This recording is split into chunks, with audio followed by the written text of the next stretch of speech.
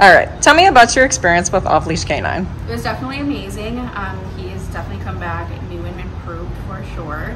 Um, I absolutely love the report cards and the videos. It definitely made everything go by a lot faster for me. Perfect. And would you recommend Off Leash Canine? Oh yeah, definitely. awesome. Finnegan, you're a graduate. You graduated.